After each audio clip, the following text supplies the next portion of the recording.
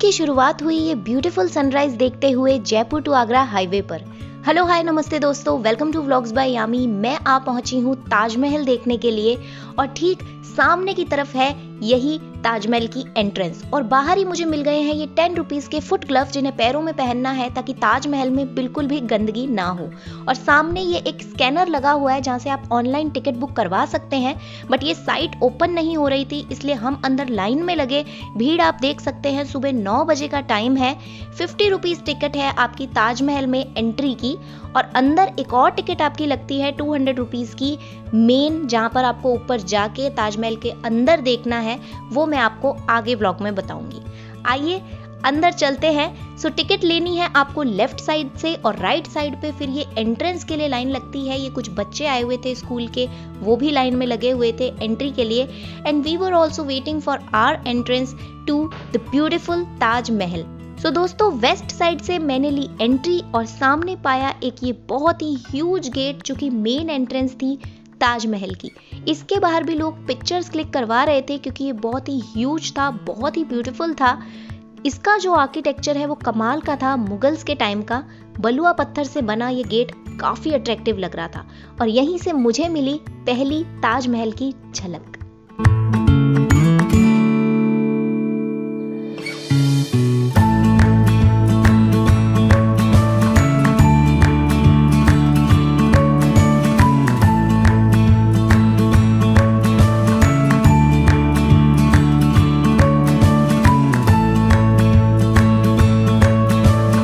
और दोस्तों, इसी गेट में है ये इन्फॉर्मेशन केंद्र, जहाँ से कुछ पूछना हो तो आप पूछ सकते हैं। और सामने ये कुछ सीढ़ियाँ जा रही थी, इसी गेट के अंदर से मैंने सोचा शायद मैं पहुँच जाऊँ इसके टॉप पर और ताजमहल का व्यू ले सकूँ।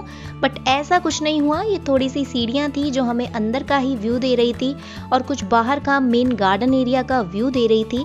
सो यहाँ पर घूम घाम के मैं वापस से चल पड़ी थी ताजमहल देखने के लिए मेन गेट से सीधा सीधा अंदर की तरफ़।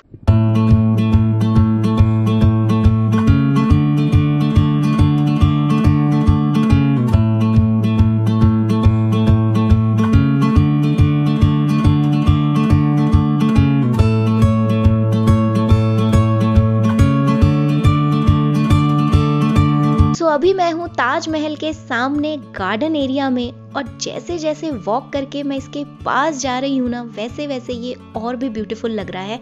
और इसके बाद क्या था? बस कुछ ब्यूटीफुल सी पिक्चर्स कैप्चर करनी थी।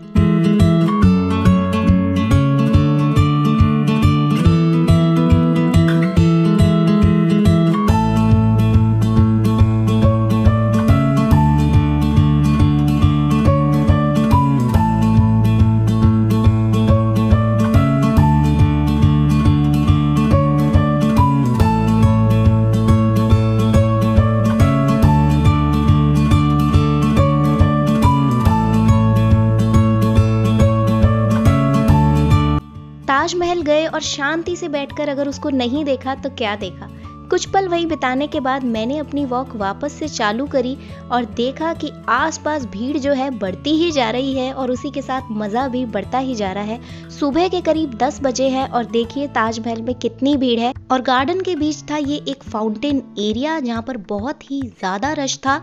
यहाँ पे आसपास गार्ड्स भी थे क्योंकि भीड़ बहुत ज़्यादा हो रही थी और टाइम टू टाइम वो उसको हटा रहे थे। यहाँ से जो व्यू मिल रहा था ताजमहल का वो बहुत ही ब्यूटिफुल था। सो डेफिनेटली यहाँ पर पर तो फ़ोटोज़ लेना बनता ही है।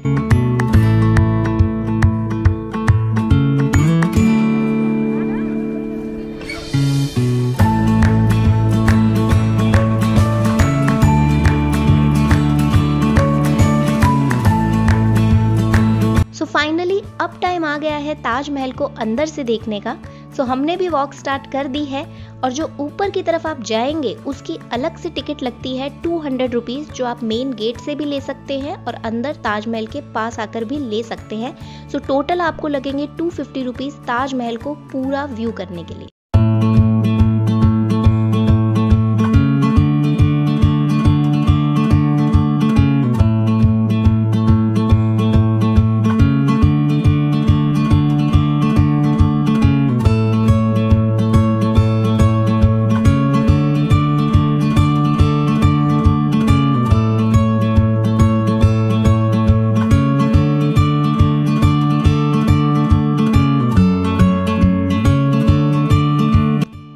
पहली बार इतनी पास से देखना एक अलग ही फीलिंग है। ये सामने है ताजमहल और इसके ठीक पास में वो है यमुना नदी, जहाँ मैं जा रही हूँ यमुना नदी को देखने के लिए, क्योंकि एकदम शांत पानी है, बिल्कुल भी आवाज़ नहीं हो रही तो कह ही नहीं सकते कि पास में नदी बह रही है, लेकिन ये जो नज़ारा है यमुना नदी का, ये भी है काफ़ी ब्यूटीफुल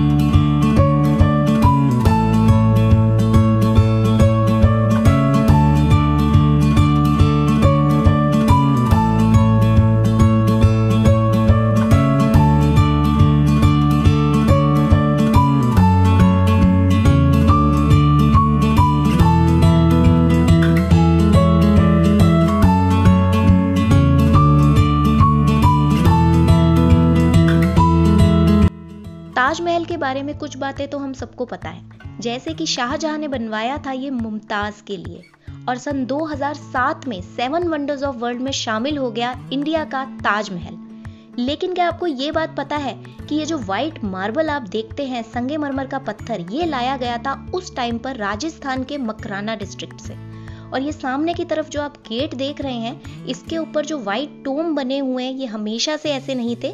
इनको बाद में बनवाया गया है ताकि ये मैच कर सके ताजमहल के आर्किटेक्चर से। ताजमहल के बेसमेंट में करीब 22 कमरे हैं, लेकिन उन बेसमेंट के कमरों के वेंटिलेशन का क्या?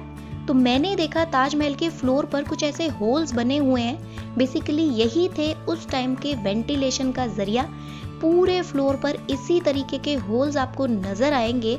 और उस टाइम का आर्किटेक्चर तो था कमाल का ही, लेकिन माइंड भी था, बिल्कुल हर चीज़ का ध्यान रखा गया था। और वहाँ सामने की तरफ़ से मैंने टिकट ली ऊपर ताजमहल को विज़िट करने के लिए।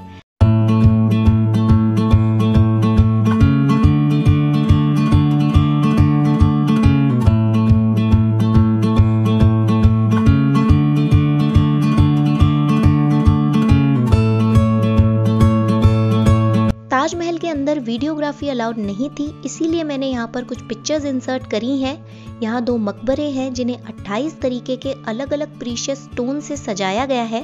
और इसी के बाद मैंने ले ली यहाँ से एग्जिट लेकिन एक खास बात आपको बता देती हूँ कि इस्लामिक ट्रेडिशन के अकॉर्डिंग आप मकबरों को सजा नहीं सकते।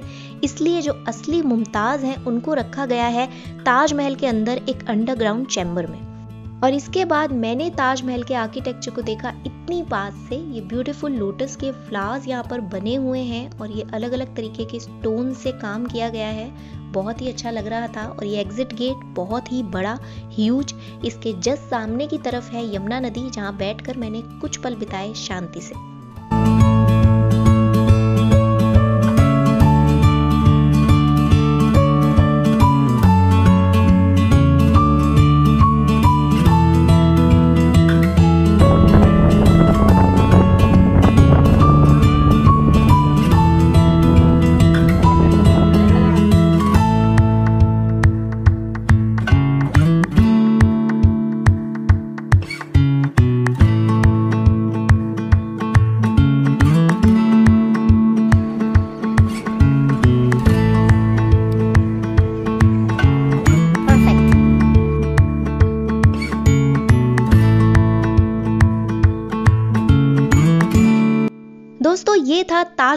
व्लॉग मेरी नज़रों से।